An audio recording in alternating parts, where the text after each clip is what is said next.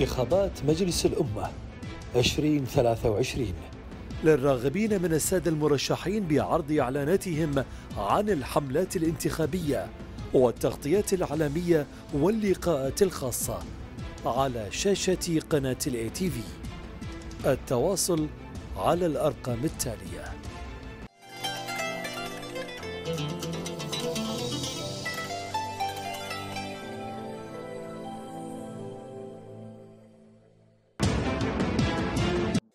محمد عباس عبد الله جوهر حياة مرشح الدائرة الأولى من مواليد 1982 متزوج وأب لطفل حاصل على بكالوريوس العلوم السياسية والفلسفة جامعة الكويت 2006 في المجال الإعلامي كاتب صحفي في الشأن السياسي والرياضي إعلامي متخصص في إعداد وتقديم البرامج في الإذاعة والتلفزيون. حاصل على العديد من الدورات الإعلامية والصحفية داخل وخارج الكويت. عضويات جمعيات النفع العام. عضو اللجنة الإعلامية في الجمعية الكويتية لحقوق الإنسان 2006 إلى 2010 عضو لجنة الحريات في الجمعية الكويتية لحقوق الإنسان 2008 إلى 2010 عضو اللجنة الاجتماعية في جمعية الصحفيين الكويتية 2007 إلى 2013 مستشار إعلامي الجمعية الاقتصادية الكويتية 2021 حتى 2023 مشاركات سياسية جماعية. عضو في حملة إقرار حقوق المرأة السياسية 2005 عضو في حملة نبيها خمس لإقرار قانون الدوائر الخمس وأربعة أصوات 2006 عضو حملة 626 المطالبة بالحرية لمعتقلي قضايا الرأي والمهجرين 2015 عضو حملة العفو الشامل عن المهجرين وأصحاب الرأي 2019 عضو مشروع الشباب الإصلاحي نبيها نزيهة الإصلاح السياسي أولوية. 2022 حتى الآن. الجوائز والمشاركات. حاصل على جائزة النجمة الفضية في مؤتمر الاتحاد الخليجي للإعلام الخليجي الرياضي مسقط 2016 مشارك بالعديد من المؤتمرات والملتقيات السياسية والإعلامية والرياضية والطلابية داخل وخارج الكويت. محمد عباس عبد الله جوهر حياة مرشح الدائرة الأولى.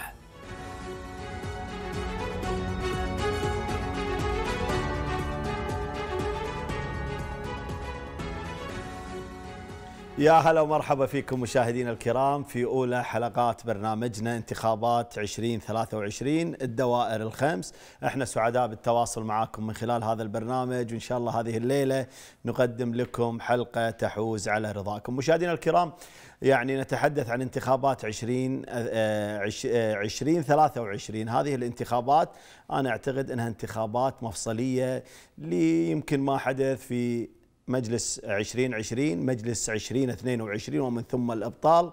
هذا المجلس يعني سيكون يعني ذات أهمية للناس. يمكن البعض قال والله خلاص إحنا ملينا من عملية المشاركة أبطال حل أبطال حل. أنا أعتقد هذا اليوم حق المواطن في اختيار من يمثله في في البرلمان. وأعتقد هذه مسؤولية على المواطن. مهما كان أن لا يكون هناك يأس في مسألة الاختيار المواطن الناخب يقوم في دوره في مسألة اختيار الشخص الأصلح الأكفأ الأنسب لمصلحة هذا الوطن. هي عملية وكالة ما بينك وبين هذا المرشح بحيث انك تقدم هذه الوكاله وهو بالنهايه اللي راح يصدر لك القوانين وهو راح يشرع لك وهو راح يراقب لك وهو راح يحارب لك الفساد. فأنا أعتقد لا نريد يعني هذا الحديث اللي يتحدثون فيه إنه والله خلاص آه، ما راح يكون في عزوف في هذه الانتخابات، ما راح يكون في حضور في انتخابات 20 2023 آه، آه، أنا ما أدري ليش من كثر الانتخابات مو راضيه تمسك معي 23 انتخابات 23 لأن لأن ما يمدي. كل ستة أشهر يعني تقريبا صارت عندنا انتخابات. نتمنى الاستقرار السياسي ل يعني يعني للوطن بشكل عام حتى أن يكون هناك استقرار في كل المجالات يعني. ويعني نقول دائما أن المواطن يجب عليه مسؤولية أن لا يكون هناك اليأس يعني من الكلام أنه والله المجلس الأمة ما سوى لنا شيء يبقى مجلس الأمة هو مفخرا لنا في الكويت. ومجلس الأمة يبقى يعني فعلا هو مجلس يعني يشرع ويصدر القوانين من خلاله وأيضا يراقب مهما كان كانت بعض الممارسات يمكن ما تعجب المواطن لكن يبقى دورك كمواطن في الاختيار مسؤولية كبيرة وإحنا نثق في المواطن الكويتي دائما في حسن الاختيار. مشاهدينا الكرام اليوم راح يكون ويانا ضيفنا وضيفكم في هذه الحلقة أخوي العزيز يعني وأنا أعتقد يمكن الحلقة تكون يعني صعبة بالنسبة لي لأنه يعني يعتبر أخوي وزميلي أخوي العزيز محمد جوهر حياة. محمد يعني ما شاء الله يمكن اللي متابع لمسيرة محمد محمد دائما مستمر في كل القضايا. تجده في القضايا الإنسانية في القضايا السياسية دائما في القضايا الرياضية في قضية حريات الإعلام. دائما نجد محمد جوهر حياة يعني يصدح بالحق دائما يعني ونشوفه من خلال وسائل التواصل من خلال حسابه الرسمي متواجد من خلال الفعاليات والندوات والمؤتمرات دائما متواجد من خلال البرامج التلفزيونية دائما متواجد. أنا حقيقة يعني ما تفاجأت في نزول محمد لأن محمد يعني يملك أرضية في قضية تفاعله مع قضايا المجتمع. لكن أنا يعني يمكن البعض يقول محمد ليش نزل؟ أسباب محمد هذا دورنا اليوم إن شاء الله راح نوضحه وراح نوضح الكثير من القضايا إن شاء الله في حلقة هذه الليلة. أنا ما أبي أطيل عليكم مشاهدينا الكرام باسمي واسمكم أرحب بضيفنا وضيفكم في هذه الحلقة أخوي العزيز محمد جوهر. حياة حياك الله محمد ويا هلا ومرحبا فيك أبو جوهر وإحنا سعداء. يعني إن أحد الشباب اليوم يخوض تجربة انتخابات 2023 حياك الله يا أبو حمد. يعني الأخ والصديق الله والزميل العزيز اللي تعلمنا من الكثير صراحة بالحق الاعلامي الكويتي من الكفاءات الإعلامية الله اللي يسعدنا دائما حضورها ووجودها ودائما تركيزها على أهم القضايا اللي تخص المجتمع. هذا دور إعلامي كبير تقوم فيه أنت والإخوان ومنهم خلف الكاميرات وجميع الزملاء زاملناهم الله يسلم الله يسلمك أخوي محمد. إحنا قبل لا نبدأ الحديث أنا تكلمت عن تجربتك ويانا وقريب منا نعم. يعني. إحنا يعني فقدنا أمس يعني أخ وعزيز الأخ العزيز الكبير يعني نقول آه، الرياضي القدساوي الإعلامي اللي زاملنا في هذه القناة أخوي العزيز رضا معرفي أبو محمد رحمة الله عليه. ويمكن خبر وفاته يعني جاء كالصاعقه علينا لكن هذه مشيئة الله سبحانه وتعالى. نقول إن لله وأنا إليه راجعون. والله يرحمك يا أبو محمد رضا معرفي. وأنت يعني عاصرت أبو محمد كثير من خلال البرامج من خلال اللقاءات الوديه من خلال أنا أعرف من خلال تواصلك وياه حتى هو في مرضه في في لندن. أنا أحب أعزيك وأعزي أنفسنا وأعزي الرياضيين والإعلاميين وأهل الكويت بفقدان الأخ العزيز رضا معرفي. والله يا أبو حمد يعني إحنا كذلك نعزي الكويت باسها أمانة بوفاة هذا الرياضي المخضرم والإنسان الطيب والمحترم والحبيب لدى الجميع. يعني رضا معرفي أعطانا دروس في الحياة أيضا قبل وفاته. رضا معرفي كان متمسك بالأمل متمسك بالحياة صحيح متمسك بانه هو قادر ويعمل ويجتهد ويطور أيضا من نفسه وهو في المرض نعم.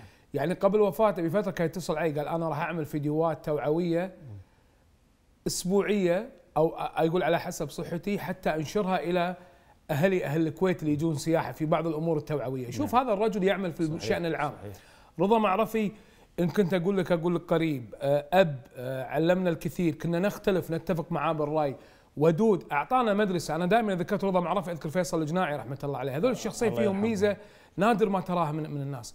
هو الفصل ما بين العلاقات الاجتماعية والاختلافات الرياضية والسياسية. صحيح. مدارس جميلة صحيح. في احترام الرأي والرأي الآخر والمحبة والمودة وسعة والتقدير. الصدر. وسعة الصدر والابتسامة الجميلة اللي دائما يعني تفكك أي عصبية بين الأطراف. فقدنا شخص عزيز تعلمنا منه في الحقل الرياضي. رضا معرفي من الناس اللي ربونا واللي علمونا الكثير. كنا نختلف وياه وكان دائما يدعو أن نبدأ من الاتفاق مش من الاختلاف. رضا معرفي قدم كثير الرياضه الكويتية على مستوى المنتخب الوطني على مستوى نادي القادسية. كان عضوا في مجلس الإدارة منتخبا. لنادي القادسية لسنوات عديدة أمانة للسر في عهده تحققت الإنجازات.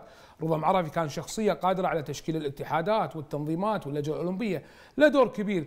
تختلف تتفق مع عمله. ما ممكن أن نبخس حقه أنه نعم. يوم من الأيام ساعد مع مجموعته مع الأفراد المقتنعين بفكره في دفع عجلة الرياضه الكويتية. نعزي الكويت أمانة بأسرها. ما ابي أقول بس أسرة معرفي الكريمة العزيزة وأيضا اعزي أمانة أخوي محمد رضا معرفي ودي أوجه له رسالة. تفضل. محمد من الناس اللي متعلق بوالده تعلق كبير. ومحمد أنا أقول أنت ما قصرت. ما قصر عملت اللي عليك بريت بوالدك وتركت أهلك وعيالك وزوجتك وأسرتك بسبب إنك تلتحق بوالدك بالعلاج وكان يرفض. حتى إن والده يقول لنا يعني إنه حاولوا تكلمونه خلوه يرجع خليه يهدى. أنا أشوفه وايد مضغوط. صحيح. كان يرفض رفض كامل وكان يرجع الكويت يعمل له بعض المعاملات. شيء قاعد تخيل 48 ساعة ويرجع لندن. أنا أقول حق محمد رضا معرفي الوفاء ما هو غريب ولا عليك ولا على أبوك ولا على أسرتك. والله يرحمه واللي خلف ما مات ويبقى رضا معرفي يعني شخصية وطنية كويتية رياضية قدمت الكثير لهذا البلد الجميل. وبالأمس فقدنا عبد الكريم عبد القادر أحد أعلام هذا الوطن. هذه. الركائز اللي تمركزت عليها الكويت. كويت الثقافة والأدب والرياضة والعلم والسياسة والتسامح والمحبة والود واحترام الآراء هذه الكويت اللي نسعى لها في المستقبل. رحمة الله على رضا معرفي عمنا وتاج راسنا العزيز ونسأل الله وإحنا نتمنى يعني أيضا من هذه من نادي القادسية أن يسمى أي منشأة طبيعي. اي منشأة لأن يعني رضا معرفي كلاعب وكإداري مثل ما تفضلت يعني يمكن قضى عمره وحياته يعني يمكن إحنا نعرف رضا معرفي أبو جوهر كان يعني حتى وهو مثلا بعيد عن أمانة السر موجود في النادي ديوانيته في النادي قعدته في النادي الرجل أعطى الكثير لنادي القادسيه. نتمنى أن يكون هناك يعني م- يعني إحدى المنشآت ب- باسم. رضا معرفي والله يا أحمد أنت دائما تمثلنا ودائما يحفظك الجرح وتخفف علينا الضغط يسلمك. دائما تقول ما نريد أن, أن نقوله أو والله. نفعله أمانة يعني أنت بعد من غريب على رضا معرفي إذا أنت تعزينا أنا أعزيك أنت يعني. رضا معرفي كان زميلنا في اللوب الرياضي وساهم بنجاح البرنامج أكيد، أكيد. وإبداء ارائه ومحبته ومودته. رضا معرفي شخصية رياضية كبيرة. ونفس ما قلت التكريم نتمنى مو بس على مستوى نادي القادسيه أيضا على اتحاد الكويت كرة القدم الرياضة اللجنة الأولمبية الكويتية وكذلك أيضا الكويت. أنا أنا ودي ودي ودي بالكويت. يعني أشوف شارع باسم رياضي. أشوف شارع باسم آه، أديب أشوف شارع باسم شاعر كويتي هم هذول ترى ونعم باللي يسموه صحيح. الشوارع السياسيين و- صحيح. و- ومثلا الاقتصاديين وإلى آخره التربويين الإعلاميين السابقين هذه الأسماء الهدف مش تسمية شارع الهدف هو إعطاء ركيزة في المجتمع ان أشوف الكويتيين مختلفين في إبداعاتهم ومجالاتهم. هذا هو النوع التقليد. التقليد ليس لاسم رضا معرفي وهو اسم غالي علينا وكبير ولكن أفعال رضا معرفي ماذا صحيح. قدم رضا معرفي للبلد بشكل عام وليس فقط في الرياضة. الله يرحمه آه، يعني كانت بيني وبينك وبينه وبين جميع الإخوان أيام جميلة. صحيح. لا تنسى. دروس والله ما تنسى. أنا حتى حبيبي. وأنا تو أدخل الاستديو أقول حق الربع صحيح. أقول لهم يعني هالمكان الله أمس توفى إيه. وهذا المكان يجتمع له فيه بشكل كبير امانه إيه اي والله. والله الله يرحمه عسى الله يرحمه, الله يرحمه. وأنا أقول حق محمد رضا معرفي ما قصرت يا أبو رضا عملت اللي عليك قدر الله كان أقرب ولكن الحمد لله على رب العالمين نتعلم من رضا معرفي التفاؤل الأمل مهما كانت الظروف قاسية الله يرحمه ويرحم أمواتنا وأموات المسلمين. إحنا خلينا نتكلم يعني في الجانب السياسي. آخذك يعني أسباب نزولك لهذه الانتخابات نعم. أبو جوهر ليش نزلت لهذه الانتخابات؟ وخصوصا بعد إبطال مجلس يعني يمكن ما طول خمسة أشهر. صحيح. والله أمانة يا أبو حمد يعني كوني مراقب للشأن السياسي أو إعلامي متفرغ للعمل الإعلامي أنا مؤمن إيمان كامل بأن الكويتيين يعني دائما عندما يذهبوا لصناديق الاقتراع يحاولوا بقدر الإمكان بتغيير المشهد السياسي. نعم. من بعد 2020 وراح نتكلم في تفاصيله بكثير من الإيضاحات أو إذا تبي أوضحها الآن كان هناك نقلة نوعية بعد خطاب صاحب السمو أمير البلاد اللي تم القائه من قبل سمو ولي العهد الشيخ مشعل أحمد. آه، أعطى بارقة أمل بوجود عهد جديد في في استدامة أو ممارسة السلطات عندما تنازلت الحكومة عن أجزاء من من أعمالها أو النظام كانت هذه رغبته بعدم تدخل بانتخابات مجلس الأمة أيضا بعدم التدخل بانتخابات اللجان. نعم. الشارع غير بعض الأوجه النيابية التي مثلا يرى بأنها لم توفق في اتخاذ قراراتها في 2020 ووافقوا أيضا على مصيبة المزمع اقتراح المزمع تقديمه نعم. فتفاءلنا حالنا حال حال البقية يعني إنه ممكن يكون مجلس 2022 مجلسا مختلفا ولكن صعقنا يعني في مجلس 2022 ولم يكن على مستوى الطموح وأنا كشخص عضو في في مشروع الشباب الاصلاحي الوطني اللي تعنيني في القضية الرئيسية في البداية اللي هي إصلاح أو بوابة إصلاح لكل مشاكل البلد وهي الإصلاحات السياسية المتمركزة على القوانين الثلاث نقدر نفصلها نعم بعدين نتكلم شفت. أمانة انه ليش مو على مستوى الطموح؟ يعني هذه يعني لأن- ليش لأن ليش تضع اللوم يعني إنه مو على مستوى الطموح؟ البعض يقول لك يا أبو جوهر إن هذا المجلس ما أخذ فرصته يمكن ثلاث جلسات إلى أربع جلسات. نعم. آه الحكومة ما قاعدة تحضر.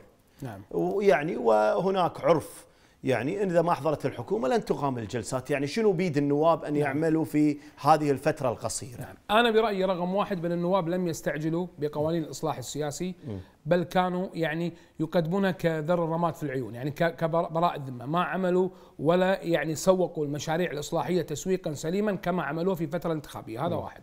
اثنين المفروض كان يكون هناك رد فعل على مستوى حدث عدم حضور رئيس مجلس الوزراء للجلسة. شو يسوون يعني؟ يعتصمون. ينزلون للشارع. يبينون رفضهم. ليس العملية مجرد بيان ومجرد تغريدة براء ذمة وخلاص نخلي الأمر يمشي. وبعد ما تغيب رئيس الوزراء عن أكثر من جلسة وعدوا إن لم تحضر الجلسة الفلانية سيتم استجوابك. لا لا لا.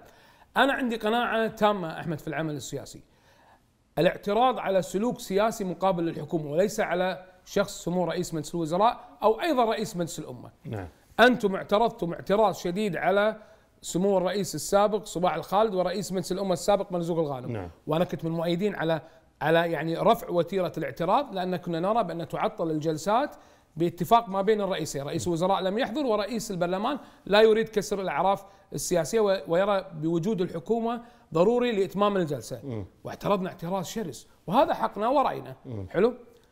كنت أتوقع أن مجلس 2022 أن في بداية الأمر من يحدث هذا هذا الخلل من قبل رئيس مجلس الأمة أحمد السعدون لعدم رغبته في كسر الأعراف رغم أنه هو يقر بقانونية إقامة الجلسة بدون حضور الحكومة.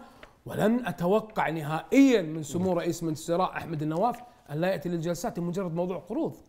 يعني أو أي موضوع إن كان. نعم. لأن صاحب السمو أمير البلاد في خطابه يحث السلطات على أهمية العودة إلى إرادة الأمة واحترامها وتقديرها وهي الفيصل. نعم. هو سمو الأمير. هني تضع اللوم على رئيس الوزراء ولا على الأعضاء؟ إذا رئيس الوزراء اللوم ما حضر. اللوم على ثلاثة. أولا رئيس الوزراء لأن أرى من وجهة نظري بأن سمو الشيخ أحمد النواف لم يحترم إرادة الناس ولم يحضر إلى جلسة مجلس الأمة وكان عليه كحكومة جديدة قامت ببعض الإصلاحات الأولية باعتقادك ليش ما حضر الشيخ أحمد النواف؟ يعني بعدم حضوره، ليش يعني ما هي الأسباب بعدم الح- حضور سمو رئيس مجلس الوزراء والحكومة؟ الحكومة إيه؟ يعني يعني يعني كانت على السايلنت إحنا كان أحد انتقادنا ما كان يطلع لك متحدث رسمي الحكومة يعطينا نعم. التفاصيل حتى إيه. نعرف من نناقش نعم. أو نبني آرائنا ولكن بما سرب للاعلام بأن الحكومة لديها بعض الشروط. أول شيء سحب تقارير آه، اللي هي آه، شراء المديونيات إلى اللجنة المالية ومن ثم سحب الاستجوابات المقدمة لبعض الوزراء من ضمنهم وزير المالية عبد السيد عبد الوهاب رشيد. نعم. حلو. هذه العملية تن متناقضة مع النهج الإصلاحي ومتناقضة مع خطاب صاحب السمو أمير البلاد اللي يحث الناس على احترام الأراضي الشعبية.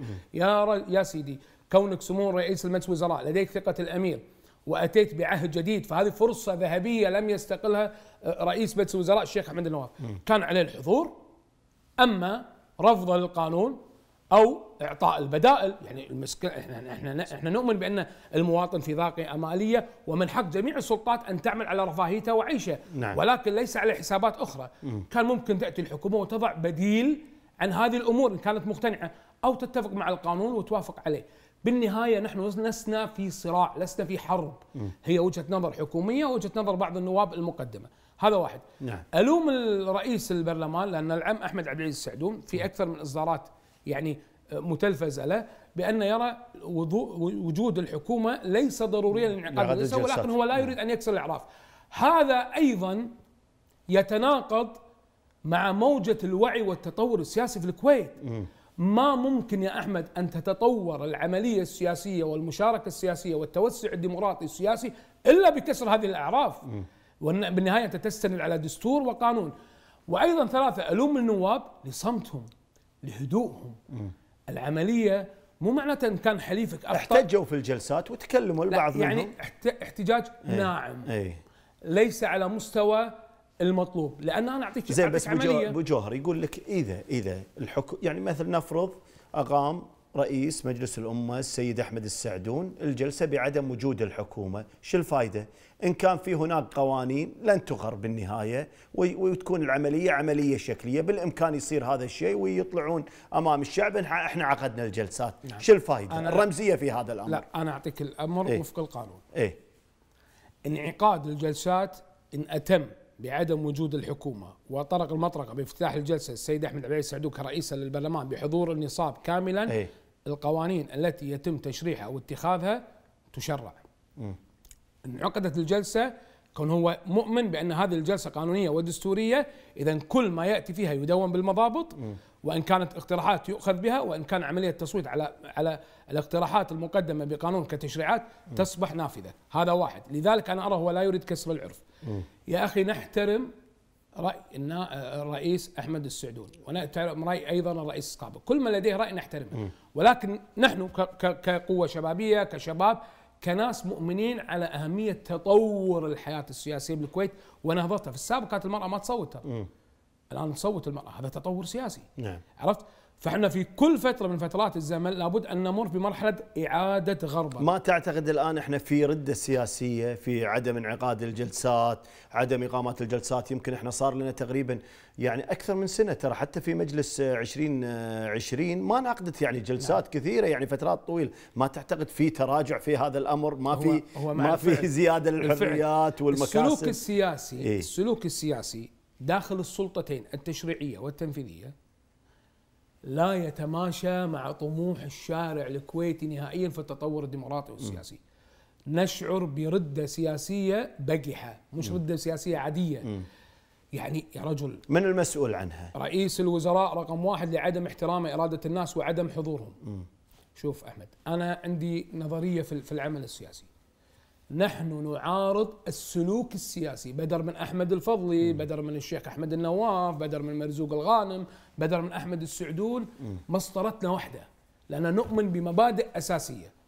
أما عملية الأحلاف في مجلس 2020 تكون أسدا وفي مجلس 2022 صامتا هذا الأمر لا يتماشى مع المبادئ الذي أطلقوها النواب في البداية. عندي نقطة مهمة. تفضل. تدري لو رئيس مجلس الأمة أحمد السعدون طرق المطرقة وقام الجلسة أي. لكسر سابقة أو ابتدى سابقة وكسر هذه الأعراف الجامدة اللي جعلت إرادة الأمة بمزاج سمو رئيس مجلس الوزراء وحكومته. هذا واحد.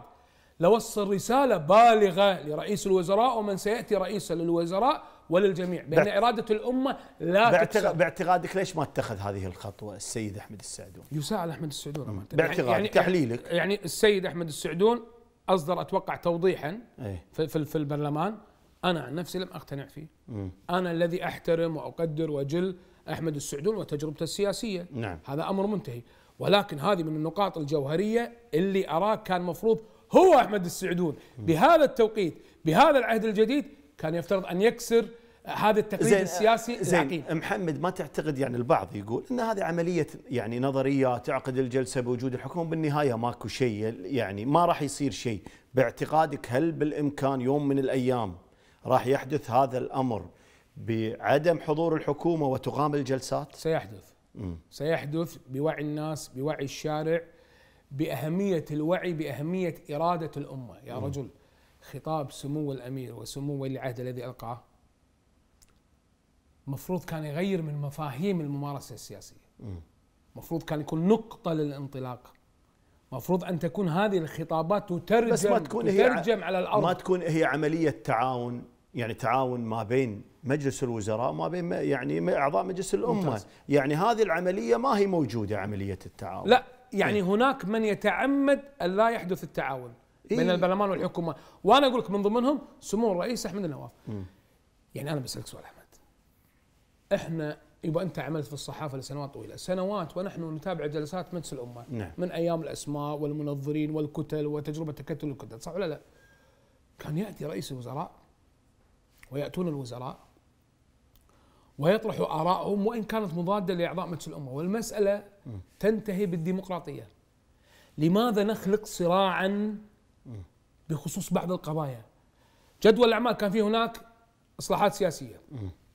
قوانين تهم المعيشة الخاصة للمواطن، قوانين اقتصادية، العديد جدول الاعمال كان متخم بالقوانين الجيدة والمميزة. أنا وين عتبي على النواب؟ وين عتبي على النواب 2022؟ إيه نواب 2022 سقطوا في اختبار الأولويات والتنسيق ما بين النواب. يعني كنا نتوقع أن بعد يكون- تجربة 2020 أي. أن تأتي 2022 كتلة المعترضين وليس معارضة لأن أنا مؤمن هم مش معارضة أي. معترضين هذه المجموعة تأتي وتنظم وتنسق نفسها وتنطلق من الوعود الانتخابية أي. وهي الإصلاحات بس يقول السياسية لك أبو جوهر هذا ما يتحقق يعني كون انه 50 نائب ما هم تيار ما ما هم أحزاب كل شخص جاي يعني من من دائرة مختلفة من فكر مختلف بالنهاية عمل فردي من خلال الخمسين. ممكن يطلع لك نائب إن كان نائب مدسوس ولا نائب هو برؤيته يبحث عن أي أمر إن كان إثارة. حتى لو والبعض قال إن ترتبت هذه الأولويات. الحكومة قدمت برنامج عملها وأيضا كان هناك أولويات من ضمنها أولويات الإصلاح السياسي نعم. موجودة لكن طلع موضوع القروض. يعني بالنهاية مجموعة من النواب قدموه وبالنهاية ما كان توافق. يعني يقول لك أيضا حرام عملية التعميم لكل النواب بأشخاص قدموا قوانين معينة ما كان الاتفاق عليها من خلال أولويات وتنسيق. ممتاز. كلامك إيه. ممتاز كلامك ممتاز. أنا أسألك سؤال. أغلب النواب المعترضين الذي اكتسحوا صناديق 2022 واعدوا الجماهير والناخبين التي هم من أوصلوهم ليمثلوا الأمة عبر البرلمان بالسلطة التشريعية بالإصلاحات السياسية. نعم. ممتاز؟ قالوا ما أخذ ما أخذنا وقت. لا لا خذ وقت. أي وقت؟ خمسة اشهر لا لا أنا أقول لك هذا اي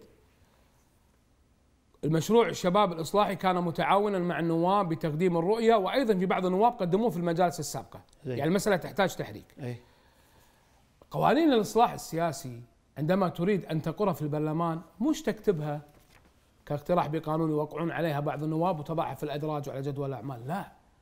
التشريع الحقيقي السياسي في الاصلاحات السياسية يتم الترويج لهذا المشروع. صحيح. انعقاد الندوات، نعم. توعية الشارع في الدواوين، في الملتقيات ال- ال- الاجتماعية والسياسية وجمعيات نفع العام.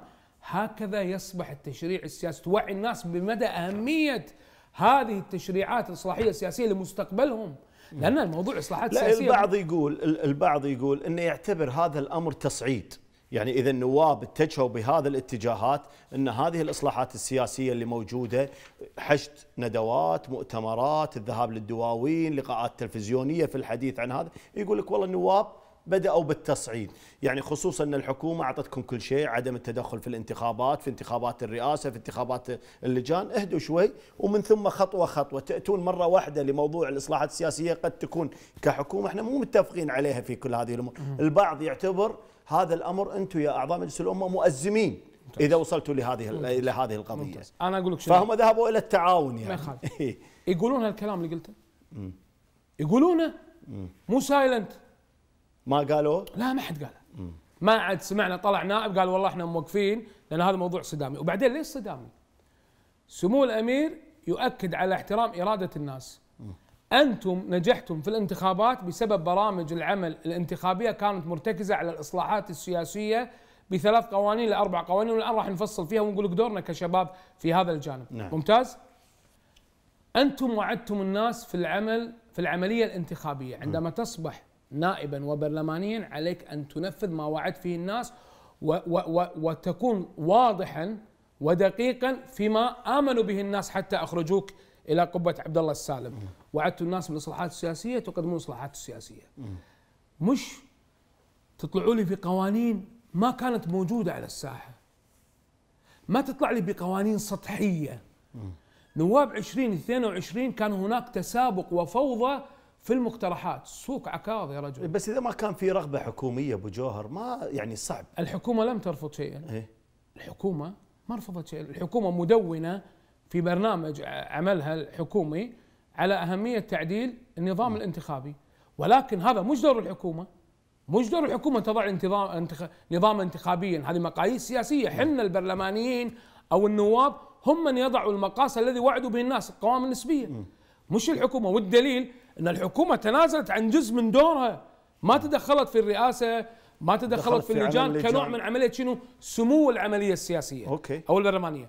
يعني مو معناته الحكومة رافضه الحكومة ما قالت أنا أرفض القوائم النسبية علانيه قد يا رجل قدم ناقش خل ادخل الجلسة اعمل ومن ثم بس إنك تجي تقتات على جراح الناس وتقدموا لي قوانين. شوف أنا واحد من الناس مؤمن إيمان كامل. المواطن الكويتي يئن على مسألة المصاريف المالية. تدري ليش يئن؟ لأن في سوء بالإسكان سوء في التعليم. سوء في الصحة. يا رجل الكويتي إذا صار في في في مخبات 100 دينار يروح يشيل يشيل أسنانه بفلوس. نعم. ما يروح المستوصف ممتاز. مو تقليلا من دور الصحيين والأخوان والأطباء ولكن إن صار عنده وفرة مالية يحاول أن يتجه إلى القطاع الآخر.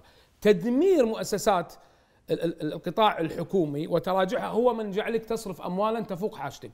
وأنا أعلم ان لابد الالتفاف للمواطنين. ولكن في حلول.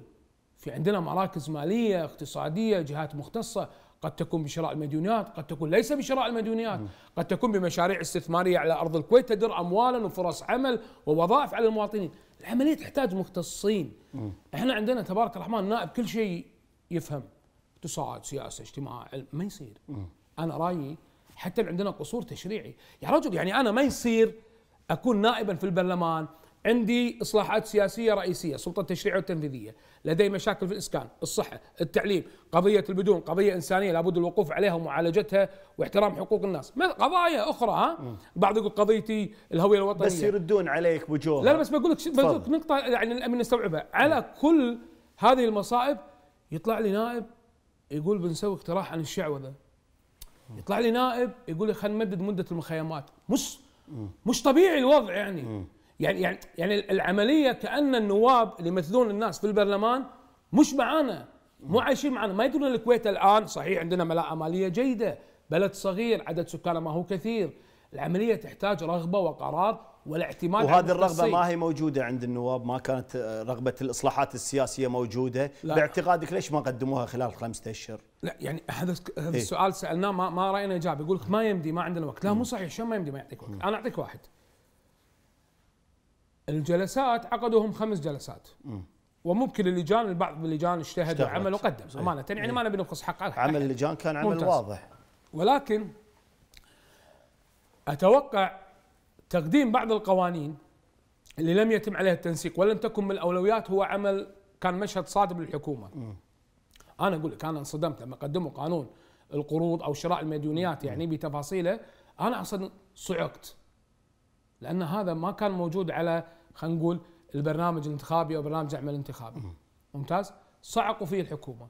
ممتاز. ولكن أيضا قضية لابد أن نناقشها. يعني أيضا ترى معيشة المواطن واهتمام وحفظ كراماته هذه مواد مدونة في الدستور دور السلطات. أوكي؟ نناقشها. بس اللي صدمنا أكثر وعدم وجود رغبة أيضا للتعاون مع المجلس حتى ولم يعجبكم هي الحكومة. نعم. يعني بالله عليك. في حكومة تمتلك المال تعطي رواتب. تمتلك موظفين جيش من المستشارين. يجي قانون يقدمونه أعضاء مجلس الأمة يا سيدي لو يكون إيش هو القانون؟ معقولة ما حضر الجلسة؟ بعدين في حكومة. يعني ترى شوف الحكومة إذا ارتقت في الممارسة السياسية وطبقت رغبة سمو الأمير إن أعطتنا الرئاسة نصوت فيه على راحتنا حقنا كشعب نشكل يعني مجلسنا نشكل لجاننا. مو معناته تسيرني على كيفك يعني. يعني مو معناته إن أنت ترسمين خارطه التشريع لل- للنواب. هذا هذا أمر مو صحيح. صحيح. يعني اعزمك على العشاء يا أحمد بعد لك لا لا لا غصبا عليك تحلي بهالنوع ما يصير. صحيح. أنت مو دورك. صحيح. أنت ارتقيت يا حكومة سمو الشيخ أحمد نواف وصفقنا لك. مو لك لفعلك. بأن شفنا حكومة قدمت نموذج جميل بإعطاء الشفافية والوضوح بانتخابات الرئاسة ونائب الرئيس ومكتب المجلس وكذلك اللجان. وقلنا برافو خطوة مقدمة. أنا لما المجلس المفروض أقدم لك خطوتين صح؟ جبت لك قوانين الاصلاح السياسي. ترى هم قوانين الاصلاح السياسي مو صدام نعم. تساعد على تنظيمك. أوكي خلينا نتكلم الآن أبو جوهر عن يعني ما هي الإصلاحات السياسية اللي باعتقادك أن تكون هذه الإصلاحات هي أولوية وأن يكون هناك لها أهمية؟ واحد اثنين ثلاثة إذا تقول لي هذه الإصلاحات. اولا نعلم بالكويت إن عندنا مشاكل متعددة في العديد من قطاعات الدولة. نعم. الشارع المكسر اللي تشوفه ولا التأخر في تسليم الأراضي الإسكانية والسكن لل- للمواطنين اللي حفظ جيوبهم من هدر أموال الإيجارات واقتدات الناس عليهم اللي يملكون هذه العقارات بالأسعار الجنونية بالكويت. اثنين تراجع الرياضي، تراجع الأدب، الثقافة، المسرح، كل هذا مش صدفة. ما في شيء يتراجع صدفة أو يتطور صدفة، هو أما مقابل عمل مميز لل- للرقي أو عمل سيء فاسد إلى أن نكون في القاع. وهذا الأمر ما يليق في دولة الكويت ولا يليق في شعبها الكريم. أوكي؟ أنا مؤمن إيمان كامل وحقيقي بل متيقن بأن ما ممكن إصلاح هذه المشاكل العالقة في دولة الكويت في وجود سلطة حكومية بدائية تدير الدولة كأنها تدير ديوانية وبوجود مجلس لا يمتلك نوابا حقيقيين قادرين على توحيد العمل الجماعي وفرض الأولويات والتنسيق فيما بينهم ويعني والسموع على خلافاتهم في بعض القضايا. نعم، شنو تقصد في حكومة بدائية يعني؟ تشكيل حكومي يا رجل. سيد العارفين انت تشكيل حكومي في دولة الكويت يجيب لك واحد من هالمكون واحد من هالمكون وأربعة من المكون وحط معاهم اثنين شيوخ وتصير هذه وزاره آه، حكومة دولة الكويت. لا مو صحيح. يبوا الكفاءات. إن شاء الله تحطهم كلهم يعني تعتقد الحكومات السابقة ما كان فيها كفاءات؟ كان فيها. وفيها لا لا لا لا, لا أنا كفاءات. بس المشكلة في ال system بعد. مم. يعني أنا جايك على, على ليش؟ العمل بدائي. مم. لأن كل شيء بيد رئيس الوزراء. الوزراء في بعضهم ما لهم دور. المشكلة إن رئيس الوزراء أو غيره لما يختار وزراء يحسب انه هو يختار وزيرا لوزارته. مو صحيح. أنت تختار عضوا في مجلس الوزراء. يعني شخص سياسي يكون له دور لديه أبعاد عارف في بعض القضايا. عنده رؤيه في رؤية. في مجال وزارته والوزارة الأخرى يعمل في طريق النظام والتنسيق. الجماعي والتنسيق. هذا اختاروا سياسيين. هذا الأمر مو موجود. مو موجود عندنا بالكويت. أنا أقول شنو عندنا موجود بالكويت. يجيب دكتور بالجامعة يجيب مثلا طبيب يجيب والله واحد من القبيلة الفلانية يجيب واحد من الطائفة الفلانية يجيب اثنين من الشيوخ وقسم عليهم الوزارات ويلا توكلنا وهذا برنامج عمل الحكومة. ونمشي والوزير شغل لنا كتب ترشيح م. لا يعني هذه مو هذا مو عمل سياسي زي. العمل السياسي تكون حكومة لديها برنامج عمل حقيقي واقعي قادر على التطبيق بشكل م. سليم وصحيح واحد وزراء لديهم بعد سياسي قدرة على تنسيق الأولويات والتعاون والتعامل فيما بعضهم قبل وتنفيذ قبل برنامج عمل الحكومة صحيح وقادر على تنفيذ يعني في نعم. كل دول العالم م. يضع برنامج أو رؤية رئيس مجلس الوزراء يختار الأدوات اللي تساعده على التحقيق. نعم. أنا ما عندي مشكلة أحطهم كلهم والله مع أن يعني البعض يعني أشاد في برنامج عمل الحكومة اللي قدم من من الحكومة في هذا المجلس يعني. قال إن البرنامج جيد لكن عملية التطبيق ما صار شيء يعني هو, هو المدة قصيرة. مشكلتنا ترى أحمد مو بالبرامج. توني بليل لما الكويت إيش قال؟ قال كل شيء عندكم في التخطيط. إحنا عندنا الهيئه العامه للتخطيط فيها دراسات تغطي عين الشمس. وعندنا كفاءات وشباب كويتي وقادر ويدرس ويعمل وعندنا دكاترة ومختصين كلهم في الدراسات الفنية. صدقني جميع الحلول كلها بالأدراج. إحنا مو مشكلتنا بالحلول والكتب وين مشكلتنا؟ التنفيذ الرغبة بالتنفيذ. م. الرغبة أن يكون رئيس الوزراء مشروعا لتطوير الدولة وليس مشروعا للحكم أو غيره. ليس مشروعا للسطوة. أنا ما أتكلم عن الشيخ محمد نواف أتكلم على مر التاريخ بالكويت رئيس الوزراء عندما يأتي يكون طموحه الأول بناء دولة سيتطور ويتقدم ولكن بناء أن يكون هو الكل بالكل وهو مالك القرار وهو الذي يعمل وهو الذي يعين وهو بيده كل شيء طلعنا من عملية التطوير الدولة إلى عملية نعم بناء البعض قال يعني إن يعني إن الحكومات يعني تفتقد إلى القرار وسرعة اتخاذ القرار. صحيح. محمد رأيك في هذا الكلام؟ هل هو يعني مشكلة يعني رئيسية في في عمل الحكومة؟ جدا. اي جدا أحمد. أيه. إحنا بالكويت بالفعل عندنا مشكلة أيضا في كواليتي الوزراء مم. يعني أنا أسألك سؤال والله يعني صار حدثين في الكويت بآخر حكومتين اللي هو عادة من اللي من إحنا في نظام مختلط بالكويت نظام شبه برلماني مم. أوكي وأيضا يسمى شبه رئاسي إيه، برلماني رئاسي ممكن إيه. ولكن عادة لنأتي على المستوى مالنا عادة من يتم اختيارهم وزراء في السابق م. في السابق كان يتم اختيار السياسيين الأفراد اللي عندهم قدرة على الإدارة والربط والتنسيق مع الكتل ووضع الأولويات وكيفية تنفيذها وعندهم قدرة على اختيار الكفاءات في المناصب الإشرافية. هذه المصيبة الكبرى بالكويت مو الوزراء. المناصب الإشرافية هذه مصيبتنا بالكويت. كل نائب له وكيل ولا ولا يتم التعيين لأن شخص غرد لك في تويتر مدح رئيس مجلس الأمة حطه وكيل مساعد. لا لا هذه مصيبتنا بالكويت لأن أصحاب الأمور الفنية والقرارات الفنية هم الأهم. أنا عندي أول مناصب بالكويت هي المناصب الإشرافية الوكيل وكيل مساعد. نعم. وهذا مضروب عندنا بالكويت. قبل كانوا يختارون السياسيين القادرين على عمل توازن حقيقي علمي فني سياسي. أما اليوم يختارون لك الوزير من يكون أما يكون سياسي أو يكون مبدع في مجال ما أو مختصا في مجال الماء ولديه لمحات سياسية صح؟ إحنا بالكويت عيونوا ناس تحط صورته بجوجل ما يعرفها جوجل ما يعرفها نعم. يعني ما عندهم الخبرات بس الكافية بس بس ابو جا- أبو جوهر الخبرات السياسية الكافية لإدارة إيه البعض المناصب. قال أصل تعيين الوزراء أن يكون من أعضاء مجلس الأمة، وإحنا صحيح. عندنا تجربة في مجلس 92 طبعاً، وكانت أنجح تجربه التجارب. وكانت تجربة ناجحة في مسألة اليوم صار العكس، يعني اليوم نشوف الواحد إن صار وزير تعال الله يعينه بالهجوم بالصج وبالكذب يعني أنا- في قضية الاتهامات اللي توجه لهذا الوزير. يعني أعتقد أن أصل الاختيار اليوم أنت تقرأ يعني نتائج الانتخابات ومن ثم تشكل هذه الحكومة من خلال هذا التشكيل. وعندنا تجربة ترى يعني 92 فعلا تجربة ناجحة. اولا لضمان وجود أغلبية لرئيس الوزراء في عملية التنسيق وغيره. وأن بالنهاية يعني أشخاص سياسيين يتعاملون في العمل السياسي. يا سيدي ارجع لتشكيل حكومة 1992 وشوف الأسماء. هي. سبع نواب أتوقع أو ست نواب. ستة. من ضمنهم مشاري العنجري. نعم. رجل سياسي نائب محنك.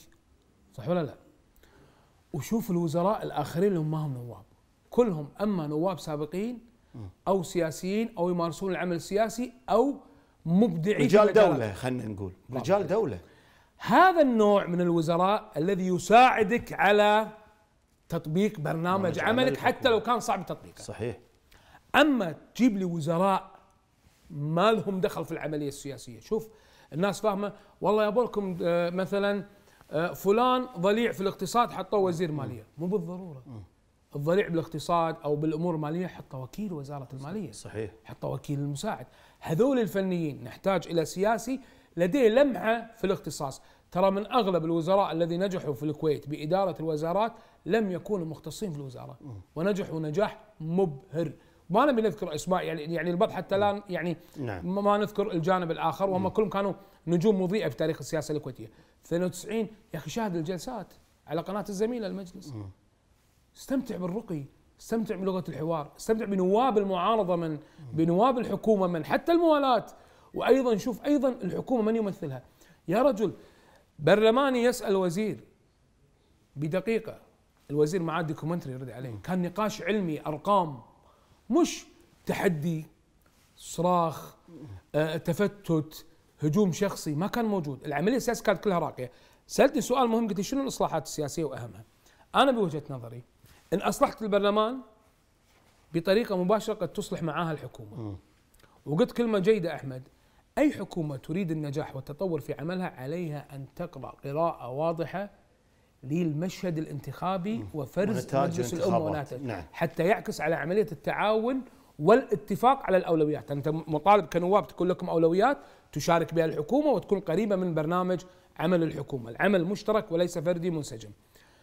أول أهم قضايا اللي نادينا فيها إحنا أتشرف إني عضو في مشروع الشباب الإصلاحي نبيها نزيهه والإصلاحات السياسيه أولوية. الكويت بحاجة أول المفو- المفوضيه العليا لإدارة الانتخابات. واحد لتحقيق الشفافية والنزاهة والوضوح. العملية ليست مشتركة ما بين وزارة الداخلية وعدل.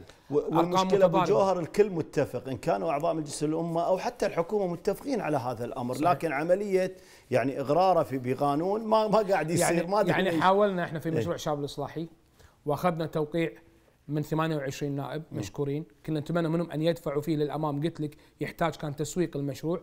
ووضعناه على الجدول. بعض الناس اللي وقعوا على الجدول هم وضعوا لنا بعض القضايا اللي شافوا إنها الأولوية من الإصلاح السياسي. واستغرب من نوابنا ما اعترضوا. ليس تقليلا من قضية المعيشه للمواطن الكويتي ولكن أيضا لا نريد بيع الوهم على المواطن الكويتي. هذا واحد. اثنين قانون الفوضيه يضمن الشفافية والنزاهة ويضمن مبدأ جميل. اللي هو, هو؟ تكافؤ الفرص. شلون تكافؤ الفرص؟ من أهم مبادئ وجود المفوضيه إن تجع تكافؤ فرص بين جميع المرشحين والمواطنين. مثال أحمد يخوض الانتخابات بكرة وممتاز وعنده آراء جميلة وحلول وإصلاحات معينة وشاب طموح ويبي يعمل لهذه البلد. بس أحمد ما عنده مثلا خمسين ألف حملة. ما عنده ناس تعطيه فلوس. ما عنده ناس تتبرع له. نعم. حلو؟ ما يقدر يخوض الانتخابات أو إذا خاض انتخابات بميزانيات محددة ولا يستطيع الوصول للناس. غيره قد يكون متواضعا ولكن يملك المادة الإعلامية ويملك المال صحيح. أصبح الثري هو من يسيطر على نتائج الانتخابات وليس المواطن البسيط. في هذا القانون وضعنا أن من حق المفوضيه أن تضع مبلغا محدودا معقولا للصرف الانتخابي. هذا يعمل تكافؤ فرص. يعني مو كل يوم تعشي ربعك شاورما. مو كل يوم تعمل لي يعني غديات وعشيات. مو تطلع أربع خمس لقاءات. ففهمت شنو قصدي؟ إيه، إيه. ما تترس الشوارع. نعم. كل عملية واضحة. يعني في هذه تعطي تكافؤ الفرص اثنين المفوضيه تحمي العملية الانتخابية من العديد من المتناقضات تكون جهة واحدة ملمة نعم. واضحة في- ليس في- التشابك في الداخليه ع- يعني مسألة بالعدل. الترشح وأن هذا يصلح للترشح أو لا يصلح للترشح يعني وهذه هي قضية مسؤولة عن كاملة. كل عملية الانتخابات كاملة بناس مختصين دقيقين ويصبح جهازا واحدا المشرف على العملية الانتخابية وليس أكثر من جهاز يتداخل في عملية الإشراف مثل نعم. الداخلية والعدل اثنين إيه قوائم النسبية قوائم النسبية من أهم القوانين. وأنا أستغرب من رد لجنة الداخلية والدفاع على تقرير القوائم النسبية أن هذا قانون يدعو لل- للفرقة وال- و- والقبلية والطائفية. و- واثنين طالعين من الفرعي قبل الانتخابات اللي قبلها يعني. يعني لا حد ينظر علينا يعني. أنت تبي تتطور نفس العالم ولا أحمد أنت متابع رياضي جيد؟ كرة القدم بأمريكا نفس قوانينها بالكويت؟ لا. لا لازم نفسه شلون ولا آه، لا أنت نفسه ما- اتحاد إيه، دولي اتحاد دولي لا صح ولا لا؟ الكرة الأمريكية إحنا ما يصير نسوي ديمقراطية كويتية بكيفنا. يعني فهمت شو قصدي؟ يعني العمل التطوري يا أحمد الله يرضى عليك أي عمل سياسي تطوري متقدم هو العمل الجماعي. يعني لما تصير انتخابات وفي القوائم النسبيه ما يستطيع مكون واحد أن يكتسح الدائرة. هني نكسر أسوار الطائفية بالعكس نكسر العرقية. بس يقول لك قائمة كلها من طائفة واحدة ما ولا من يوصل قبيلة واحدة. ما يقدر ما يقدر. ليش ما يقدر؟ ما إذا يقدر. عنده أغلبية. صح صحيح وهذا اليوم حال الانتخابات. صحيح اليوم. صحيح بس ما راح يقدر يحصل مقاعد على أساس طائفي وقبلي مثل ما نشوفه بالصوت الواحد ولا حتى الأربعة بخمسة. ما يقدر النسبة راح تكون أغلى النسبة عالية. ممتاز؟ فيجبر على التعاون مع المكونات الأخرى. قد يكون الهدف أول مرة في أول انتخابات انتهازية انتخابيا. قد يكون. ولكن دول العالم تطورت بهكذا الأمر. دول العالم ما جابت لك جماعات سياسية واحزاب بعدين سوت نظام. لا عملت نظام مارست فيه عرفت عيوبه طورت عليه بعدين تتطور العملية للعمل الحزبي والسياسي القائم على الحزبية العملية أفكار عملية مش مذهبية وعرقية وطائفية. ثلاثة من أهم القوانين وأنا أتمنى يعني هذا القانون يصدر بأسرع وقت يعني. اللي هو؟ هو احترام إرادة الناس عبر تعديل قانون المحكمة الدستورية. وأقدم ترى من قبل النائب هلا المضف وبعض النواب يعني ما أبي أنسى أسمائهم بس أنا أذكر الأخ العزيز هلا المضف قدم أتوقع في تاريخ 24 10 ولكن أيضا أنا عتبت عليهم أيضا ما سوقتوا لهذا القانون عبر التوعية والمشاريع. عن العملية مش تجيش وجيوش وقعد شنو إرادة. نقاط هذا القانون؟ أهم نقاط هذا القانون تعديل مادة واحدة بأن أي طعن يقدم على أي مراسيم يتم البت فيه قبل الانتخابات وليس بعد الانتخابات. يا أحمد ترى هذه موجة الأبطال يتنا الحين ثالث صحيح. مجلس مبطل هذه مصيبة. صحيح. الناس تعبر عن آرائها. عجبك آراء الناس ما عجبك آراء الناس؟ آرائها دونت وكتبت ووضعت في صندوق الانتخابات وأخرجت لك هذا المجلس. نعم. ما ممكن يجي قاضي أو يجي قانوني بشخطة قلم؟ يلا اذهبوا الانتخابات لأن هناك إجراء. كان الأولى معاقبة من أخطأ في الإجراء القانوني وكان على حكم المحكمه الدستوريه أن لا يتوسع بصلاحيات الأمير في كل ماده 107 يعني إبطال إرادة الناس أمر خارق للطبيعة. خارق. أصلا في بعض الدول ترى الأوروبية حدثت معهم نفس التجارب. يقرون في أحكامهم مثلا بأن الإجراءات كانت خاطئه ولكن لا يمكن هدم إرادة الناس لأن هي هي المشكل الرئيسي لسلطات الدولة. فلا بد من احترام إرادة الناس. يعني هذه ثلاث قوانين قد تكون مدخلا بوضع مجلس تشريعي حقيقي قادر على الرقابة بشكل واضح ولا يتغير نوابه بتغير من هو أمامهم. يعني الخطأ أصبح من مرزوق وصباح نوقف ضده. الخطأ أصبح من أحمد وأحمد نوقف ضده. هذه العملية يخرجك نوابا حقيقيين قادرين على الرقابة الجادة وجودة التشريع. نعم. أبو جوهر نريح وياك وبفاصل ومن ثم نكمل حديثنا. في موضوع الفساد. عزيز وغالي يا أبو جوهر. مشاهدينا الكرام متواصلين معاكم مع مرشح الدائرة الأولى محمد جوهر حياة. فاصل قصير وراجعين لكم.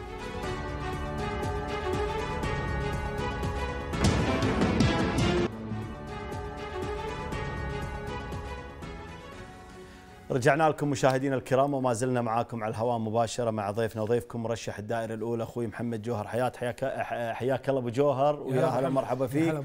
وإحنا سعداء بوجودك ويانا. آه، أبو جوهر يعني خلينا نتكلم دائما الحديث عن الفساد وإن الفساد استشرى. نبي يعني رأيك في موضوع الفساد تحديدا. يعني أحمد التراجع اللي قاعد نشوفه في أغلب المجالات هذا فساد اصبح الفساد هواية للجميع. نواب الموالاة معارضين حكومة أصدقاء الحكومة. صار شيء يعني واضح بالكويت. صار ذكي الفاسد. يعني أنت لما تكون نائب في الكويت أنت ذكي برافو عليك. يا رجل حتى في كل المجالس 2020 2022 مجالس اللي قبلهم ما قد شفنا نائب نجح حط ولد عمته ولد خالته ولد أخوه وكيل مساعد. اليوم الموانئ فتحوا إعلان. ادمروهم سكرتارية نواب وسكرتارية ناس كنا نرى فيهم الإصلاح. هذا الأمر خطير يا رجل. وصلنا لمرحلة بالكويت ان ان إن من يشارك بالفساد يرى أنه خلاص يعني مجتمع فاسد و... لا لا مو صحيح. اليوم التسليم لثقافة الفساد إنك أنت تسلم تشوف الفساد وتقول أمر طبيعي وابي أروح أسويه أنت قاعد تدمر أحلام ناس قاعد تدمر طموح ناس قاعد تخلي أسرة تئن لأن ابنهم صار له سنتين متخرج من الولايات المتحدة الأمريكية ما عنده وظيفة. والسبه تعديك. يا رجل تعيينات في مجلس الأمة. كل واحد من له رئيس مجلس عمل له ريتويت صار آه، مدير وصار رئيس قسم وأخذ يا رواتب. جيش المستشارين اللي ما نعلم هم مستشارين شنو فائدتهم الهيئات الموجودة بالكويت 12 هيئة رقابة مالية ورئيس الوزراء السابق صباح الخالد يقول شلون عندنا هالفساد؟ وإحنا عندنا 12 جهة رقابية. هذه مصيبة. أحمد الفساد بالكويت ما عاد يحتمل. ما تقدر تتحمله. ما تعتقد هذا الأمر يعني مبالغ فيه بوجوه لا لا هذا حقيقي. لا يا ريت مبالغ فيه. يا ريت إن إحنا قاعد نبالغ. تدري ليش يا ريت إحنا قاعد نبالغ؟ وإحنا قاعد نبالغ ما تشوف الشارع مكسر. ما تشوف الكويتي خريج هندسة ما يلقى له وظيفة. ما تشوف أنا كمواطن أروح ديوان الخدمه المدنية أوقف بالدور لازم أروح حق نائب يعيني واللي ما عنده صديق نائب. واللي محترم نفسه ومحترم ذاته. واللي يستحي يروح حق نائب يطلب منه وظيفة. شو يسوي؟ يقعد بالبيت يكمل السنة الثالثة والرابعة والخامسة. يا رجل الكويتي يعني بهذا السوء يعني اليوم المواطن ما يقدر يتوظف بوجوهه إيه، ما يقدر يتوظف. يعني يذهب إلى اي ما يقدر يتوظف. أنا أقول لك أصلا وظائف النواب عندنا كتب ترشيح. ترى مرات شوف بقول لك شيء هو مو غلط تقضي حاجات الناس المظلومة. ترى مرات وصلنا لدرجة من الفساد بالكويت إنك لما تبي تاخذ حقك تبي واسطة. هذه مصيبة أحمد والله أنا ما قاعد أهول. إيه. المشهد السياسي بالكويت مخيف مرعب. تدري ليش؟ كيفية القضاء على هذا الأمر اختيار الناس الصح اختيار النائب اللي انت حاسس إنه هو لما بيروح يراقب لك بيراقب لك صح اختيار النائب اللي بيحل مشكلتك عبر تعتقد والله. أنا أنا أعتقد الشعب الكويتي دائما يعني يعني مو دائما أقول خلني الأغلب وأكثر اختياراته في المجالس السابقة كانت اختيارات جيدة يعني اي بس يحبط بس يحبط يحبط هو هو إيه. هو يختار. والله يعني مو أمانة لا لا يعني. شوف إيه. الشعب الكويتي برأيي ترى أصبح وعي عالي. في في وعي في وعي. وهذا وهذا اللي إحنا راهنا عليه ولذلك إحنا نازلين الانتخابات. إيه. الشعب الكويتي اليوم هو عنده قدرة على تبديل الوجوه بشكل أكبر. الوعي القادم نبيه تبجيل الوجوه والثقافات. أنا ماكو فايدة ابدل شاب ب ب- يعني مواطن أو نائب كبير بالسن. مو هذه العملية. مش معناته النائب أخذ موقف سياسي جيد ومميز إنه هو إنسان قادر على التشريع وعلى التطوير. هذه العملية. مشكلتنا بالكويت يا أحمد باختصار الفساد أصبح ضخما ما نقدر عليه يحتاج إلى وقفة جادة سلطة تشريعية ونواب حقيقيين قادرين يقولون لا بوجه الفاسد والمفسدين ولا يتسامحون مع الفساد. اثنين بحاجة لرئيس وزراء يقرأ النتائج الحقيقية للانتخابات ويضع عنا وزراء أتوا لتطبيق القانون وإحياء الدولة من جديد. في مشكلة أخرى بالفساد. يا رجل نواب 2022 إحنا من الناس اللي عولنا عليهم إنه ممكن يغيرون واقع سياسي كويتي بالإصلاحات السياسية، خلينا قلنا خسروا في الأولويات وخسروا في اختبار آه، يعني فشلوا في اختبار الأولويات والتنسيق فيما بينهم على قضايا الإصلاح السياسي، آمنا بالله. يا رجل جزء كبير منهم شفت التعيينات أنت؟ شفت التعيينات بالموانئ؟ البعض قال هذه مبالغة؟ البعض قال هذه يعني البعض قال قال- مبالغة يا البعض رجل؟ قال إن هذه مبالغة وصارت عليها موجة يا إعلامية رجل شك- مشكلة السوشيال ميديا إيه. يعني فضحت أشياء كثيرة للسياسيين. الناس ترى تعرف كنا بالكويت هل كبرنا؟ يبا. كلنا نعرف بعضنا البعض. كنا إخوان وأهل وتنافس ما بيننا في العملية الانتخابية. سواء اتفقنا واختلفنا. الناس بدت توعى بأن النائب هذا أتى لخدمة الناس بشكل عام ولا بخدمة المجموعة؟ هذه المصيبة. أنا من الناس اللي يعني يعني ما ابي أقول شلون تضايقت على المستوى الشخصي لما شفت نواب أنا يعني مؤمن فيهم إنه ممكن يغيرون حدث سياسي إصلاحي ويعمرون البلد ويساهمون بالتشريع. كان أول همهم شلون يفيد اللي حوله. يا رجل يعني مو اللي حوله دائرته الأولى يعني اللي حواليه المقربة الأولية. أو أو سكرتيره يحطه مستشار تعيينات في مجلس الأمة بس البعض يعني 26 يعني البعض بشكل يعني كبير يعني, يعني. البعض البعض يرد عليك أبو جوهر يقول لك يعني يعني هل ذنب يعني إذا واحد كان والده قيادي ولا مسؤول إنه ما يأخذ حقه في التعيينات والله عشان أخوه يعني حقه. ولا وزير ولا كذا. يأخذ إيه؟ حقه إذا اختاروه على أساس الكفاءة. وليس على أساس إنه هو أخو النائب أو ابن النائب. كفاءة روح أخذ كفاءة. كفاءة خلى حاله حال الناس. أخو النائب يوقف بالدور ويقدم على إعلان موجود في الجريدة الرسمية ويحضر الاختبارات. مش يندبونه بيوم وليلة بجرة قلم لأن الوزير بينه وبينه متر. لا. اليوم الناس ما عادت تحتمل. هناك نعم. إسر تئن يا أحمد من موضوع الفساد تئن من البطالة تأن بأن قاعد نوظف الكويتي مو بمكانه ولا بتخصصه. أبو جوهر رأيك في أداء يعني قبل شوي تكلمنا عن الفساد البعض قال إنه والله الشيخ أحمد النواف سمو رئيس مجلس الوزراء يعني قايم في خطوات جيدة في مسألة محاربة الفساد. كيف تقيم أداء سمو الرئيس الشيخ أحمد النواف؟ لا يعني أنا أرى إن سمو الرئيس لم يكن موفقا في العديد من الخطوات. يعني مبدئيا أنا عندي قناعة وقلت الكلمة من زمان في موقعي الشخصي في تويتر قلت بعض الإصلاحات الأولية لا تعني بأن هذه الحكومة إصلاحية ونجاح إصلاحي وبان ستقدم البلد شو المفروض أن يعمل الشيخ أحمد؟ شو المفروض؟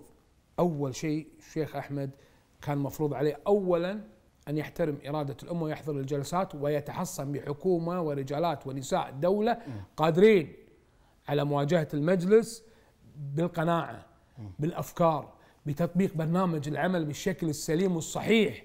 هذا واحد. اثنين التعليق اللي صاير في البلد يا رجل كل شيء اصبح معلق. تدري شنو معناته 130 منصب بالكويت أو أكثر كلهم بالتكليف؟ إيش معناته الم... يا أخي أنت الحين ما شاء الله عليك مدير عام آه، العدالة. تخيل باكر يطلع قرار مجلس اداره حاطينك بالتكليف راح تبدع؟ راح تمشي الموجود بس. م. البلدان في يوم وليلة يبدعون في يوم وليلة تصبح هناك خطوات في يوم وليلة تخرج دراسات في يوم وليلة يتم تنفيذ دراسات إبداعية تطويرية حتى تنهض في العمل. أم إذا أنا باكر حطيت أحمد الفضلي مدير عام بالتكليف. يعني في أي لحظة ممكن إيش؟ ينشال ينشال. فأنت شو راح تسوي؟ راح تقيم البرامج. ما راح تجيب مذيعين جدد. ما راح تطور. ما راح تبدع. ما راح تقعد مع الشركات الداعمة للبرامج. بتشوف كم تستفيد القناة من أغلى. هذه العملية. أحمد النواف حكومته يعني سنت سنة جديدة بها سياسه التكليف والتعليق. واحدة المناصب قياديه فاضية. نعم لازم تسكر مناصب قياديه سكرت على بعض الموجودين منهم من الكفاءات ما نقول لا. م. أوكي ولكن أغلبهم موجودين لي يعني ان يمشي الأمور الموجودة الحالية. فهذا الأمر يساعد الدولة على الرتابة وان نقعد بمكاننا. ما راح نتطور اثنين عدم حضور الجلسات. هذا أمر أزعجني أنا على المستوى الشخصي إنك تتمنى له الخير في توفيقه. ثلاثة اختيار الوزراء ما كان على قد الطموح للكويتيين. أربعة أيضا بعض وزراء اللي اختارهم ساهموا بالفساد بالتعيينات الأخيرة حق بعض النواب بعض الأصدقاء النواب وهذا ما يجوز. يعني هذا ما يجوز. أنت جاي في حكومة مقبلة بعهد جديد بدعم كبير من سمو الأمير وسمو ولي العهد بتطبيق القانون بتنفيذه باحترام إرادة الناس بتطوير البلد ونهضتها. إحنا حرام هذا المشهد مشهد بالكويت اللي نعيشه اليوم هذا المشهد مفروض ما يكون مشهد الكويتي. والله يا أحمد. أنا عمري 41 سنة وعشت نعم. وشفت الكويت في فترات محددة. نعم. ما كنت أتوقع يوم إنه يكون هذا المشهد الكويتي. المشهد وايد أجمل الحلم وايد أكبر. اللي داخلنا من أحلام كشباب وأبناء والإمكانيات اللي نمتلكها في شبابنا وأبنائنا ومختصينا نعم. عندنا الحلم وايد أكبر من نعم. هذه المشاهد أنت في شعارك الانتخابي قلت الحلم لن يموت. لن ماذا يموت. تقصد في هذا الشعار؟ شوف أحمد أنا عندي نصيحة أول شيء قبل أقول هذا الشعار. حتى لا تصير الدعوة لدى الناس إن إحنا بس قاعد نقول حق العالم انتخبوا الشباب لا. عندي قناعة تبي تروح تنتخب شاب؟ يعني أنا حتى في بعض الدوائر وفي موجة يعني لإيصال الشباب يعني وصارت في مجلس 22 برافو عليك. أنا عندي رأي في هذا الجانب حتى أكون واضح أمام الناس. قد يمكن يكون الكلام هذا ما يكسبني بس أنا قاعد أقول الحق. بلد بالنهاية أكبر مني وأكبر من خدمتي وإذا محمد ما وصل في غيره راح يوصل. ولكن إحنا متسلحين بشيء واحد. المسألة مش تبديل نائب سابق بنائب شاب. أنت لما بتروح تنتخب النائب الشاب شوف شنو مسيرته. وين كان في قضايا نبيها خمسة؟ وين كان بحقوق المرأة؟ وين كان بالقضايا المفصلية؟ قضايا الإيداعات قضايا الفساد قضايا الإصلاح السياسي. وين كان هذا الشاب؟ ترى في بعض الشباب يبيعك عند اول لفة.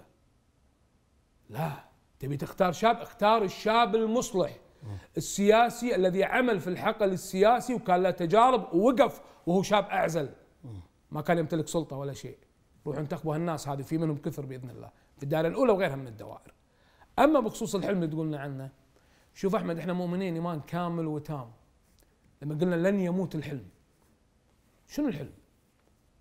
الحلم اني أشوف الكويت مثل ما أنت يا أحمد تبي تشوفها كويت العدالة وتكافؤ الفرص والمساواة. كويت عبد الحسين عبد الرضا بالفن وسعد الفري وجاسم وفيصل وفهد الدحاني بالرياضة. الكويت الفارسه المطوع. الكويت سامي محمد كنحات. الكويت الكويت عبد الكريم عبد القادر الكويت رضا معرفي. الكويت الإعلامي أحمد الفضلي. هذه الكويت. محمد الزامل محمد المسند. هذه الكويت اللي عودتنا. الكويت الجزيرة الخضراء والمدينة الترفيهية والترفيه والشوارع الجميلة والبنية التحتية الكويت التاريخ التراث النهمة البحر البر هذه الكويت. هذا المشهد المشهد الحقيقي اللي لازم نشوفه. الكويت جامعة الكويت اللي بدت في الستة وستين وهذا التفتح والانفتاح على الغير الكويت المحبة اللي بدون عنصرية الكويتيين اللي هم على الوحدة الوطنية الكويت أيام التحرير اللي حرروا بلدهم اللي وقفوا مع بعضهم بالغزو. هذا الحلم اللي بنشوفه مو الحلم. رئيس الوزراء حضر الجلسة ولا ما حضرها. يابوا الصناديق ولا ما يابوها. مشهدنا وايد أكبر وايد أعمق. الكويت ها يا رجل متفائل. متفائل لسبب واحد. م. لأن أنا مؤمن إيمان كامل وبلا عنصرية. العنصر الكويتي الكواليتي ماله ممتاز. شوف يا أحمد أنت رياضي وعندك خبرة في الجانب كلنا نقول ما عندنا رياضة ما عندنا منشآت ما عندنا إدارة رياضية حقيقية ما عندنا اتحادات رياضية صحيح؟ تصدق الكويت الأولى خليجيا بالألعاب الفردية. نعم. تنافس الدول العربية بالألعاب الخليجية. هذا شنو يعني؟ يعطيكنا ال quality سليم. أحمد الطيب زميل وتعرف المعلق في قناة نعم. الكاس الرياضية. نعم. أتى معي دورة الروضان مرة. كضيوف حاضرين. لفتح البوابة كويتي. اللي استقبلنا وقلطنا كويتي. قاعد يمك وزير اسمه ياسر أبو الكويتي اللي يقيم الندوة كويتي. اللاعبين كويتيين. المصور كويتي. المخرج كويتي. قال لي أنتم شنو؟ هذا ما نشوفه في بعض الدول الخليجية. أنتم الكويتيين عندكم قدرات صحيح. صحيح. عندكم إبداع عندكم عمل الإمكانيات موجودة. الإمكانيات الكويتية موجودة. بلد فيه ملاءة مالية كبيرة مساحته صغيرة. شباب. شباب واهله متواصلين مع بعضهم ضد بعض تمس متمسكين مع بعض مروا بأزمات وكانوا صلبين وواقفين. أكيد ومؤمنين بأن الحلم اللي نسعى له وجود دولة الكويت دولة المؤسسات والدستور والقانون والثقافة والأدب والعلم والاجتماع كويت القبائل والعوائل والطوائف كلها مجتمعة تحت راية وطن واحد مواطنين كويت الإبداع كويت النادي العلمي في أيام الثمانينات الكويت اللي كانت هي المركز الفرح والمتعة في الخليج والتسامح والتواصل كويت الاختلاف والاتفاق. هذا الحلم اللي نبيه وهذا لابد ان نوصل له. نعم. ويعني بالله عليك أنت ما اشتقت للمسرح الكويتي في عزه؟ يا رجل ما اشتقت للمباريات للدربيات اللي كانت بالكويت. ما اشتقت لمنشاتنا الرياضية شو كانت جميلة وتستقطب الناس. يا رجل إحنا أبنائنا عملوا لهم ال Winterland. شفت صور الأطفال؟ صحيح. شفت وماكو حجز وماكو حجز. شفت الشغف عند الطفل؟ ترى أنا عندي قناعة أحمد كاملة بالكويت قبل أحلم لأن الحلم هذا هو من الطفولة إلى لين ياخذ الله أمانته. الطفل هذا لما توفر له وسائل الترفيه هو لازم يكون سعيد في بلده. لازم يشعر إن في فرحة في بلده حواليه وتحومه حتى هو يجتهد ويستسقي التربية من أهله ويتطور ويدرس ويعمل. كلنا كنا صغار كنا فرحين في بلدنا. صحيح. كلنا. صحيح. أنا كان والدي رحمة الله عليه إذا قال لي بسافرك ثلاث شهور لندن ضيق خلقي. تخيل ليش؟ لأنه ما في الوسائل بعض الوسائل نعم. الترفيه كانت عندنا بالكويت فتره نعم المدينة. الترفيهية الجزيرة الخضراء الكويت أكبر من مجرد سياسة، الكويت أكبر من مجرد إن الشعب بس حاط النواب تحت المجر لا وللأسف يعني. ابو جوهر انه يعني أيضا حتى في مثل هذه الأمور إحنا نتكلم عن الأمور السياسية، سياسة الهدم وعدم البناء يعني هذه أصبحت ظاهرة في السنوات الأخيرة، هدينا المدينة الترفيهية، الجزيرة الخضراء، الاكوا بارك، غيره، كلها حديقة الشعب، آه، قول حديقة الجليب، حديقة الصباحية، فعلا يعني يعني البلد- لكن عملية البناء ما هي موجودة صحيح. للأسف. لذلك أنا هذا أنت يعني أتوقع اني إنك أعطيتني إياها كذي فرش فرشتها لي يعني. يعني انت اعلامي مخضرم و- حبيبي. ويعني استمتع بالحوار. حبيبي والله ابو جوهر ومن قبل أيام هوشاتنا باللوبي. فاحمد اللي بقول لك اياه بوضحه بصريح العباره. لذلك هذا الهدم اللي شفته بالكويت وهذا التراجع وعدم البناء وعدم التطوير. تذكر الشيخ صباح الأحمد رحمة الله عليه الله لما يرحمه. آه، عمل عبر الديوان الاميري العديد من المشاريع. كنا ممكن إحنا كسياسيين أو متابعين إن هذه كان المفروض الحكومات تسويها. وليس الديوان الأميري صحيح. ولكن عملت المشروعات هذه صح ولا لا؟ صحيح. ترى عطت فرحة. أكيد. سنة لسنتين. نعم. دار الأوبرا حديقة الشهيد. مركز عبد الله السالم مركز عبد الله. السالم الثقافي ومن نعم. أجمل المراكز في دولة. الكويت. صحيح. وعلى فكرة ابني يعني كل أسبوع يوديني. فيه يمكن أنا لو يسوون يستاهل أكثر كويتي داشة. يمكن أنا. لا في فعلا يعني. في أفكار علمية جميلة متنوعة ثقافية اجتماعية إلى آخره وأيضا جغرافية. ترى إذا كانت الإرادة والقرار موجود بالإمكان إن. ننجز. شفت هذا كله أحمد اللي قاعد تقول عنه؟ هذا ما راح يصير والأمنيات اللي تبيها ما راح تصير وإعادة البناء ما راح تصير إلا بانتخاب نوابا حقيقيين قادرين أن يضعوا الحسابات السياسية جانبا وتكون حساباتهم الحقيقية في التشريع والرقابة زائد نعم. حكومة نساء ورجال دولة قادرين على وضع برنامج عمل حقيقي واقعي قابل للتطبيق هني نقول لك لن يموت الحلم وعلى السوء اللي بالكويت يعني نقول لك على السوء للأسف بالإدارة عندنا وعدم وجود الرغبة في القرار ما زلنا نقول لن يموت الحلم لأن لن يموت الحلم في ظل وجود شعب مؤمن بالدستور والديمقراطيه والقانون. لن يموت الحلم ما دمنا نمتلك كفاءات وطنية شابة قادرة على العمل والإنجاز في ظل هذه الظروف. نعم وإن شاء الله إن إحنا متفائلين إن شاء الله بإذن بإذن, الله. الله تعالى أبو جوهر. بإذن أبو جوهر موضوع رئاسة مجلس الأمة. يعني خلال السنوات الأخيرة أصبح يعني هذا الموضوع صار برنامج انتخابي. صار برنامج انتخابي أو يعادل برنامج عمل الحكومة. يعني الحديث عنه أكثر من عمل برنامج عمل الحكومة عند الكثير من السياسيين. رأيك في هذا الموضوع؟ يعني هو بالنهاية رئاسة بيت الأمة هي ليست حكرا على ألف أو باء. أي. أنا هذه وجهة نظر. نعم. وهناك العديد من الكفاءات الوطنية ممكن أن يكونوا على سدة الرئاسة. رئاسة تحتاج إلى رجل رزين يطبق القانون مؤمن بالتوسع الديمقراطي قادر على استقطاب الآراء كلها قادر على يعني إدارة الجلسات بطريقة دون يعني دون استفزاز للآخرين. وتحتاج رجل رزين يعين رئيس آه، مجلس الوزراء على بعض القضايا على التفاهمات على التنسيق ويكون هو رئيس مجلس عنده رغبة على التطوير. على تحريك اللجان وعلى التنسيق مع النواب وشخصية مهذبة قادرة أن تترأس هذا المجلس. هذا اللي إحنا نحتاجه.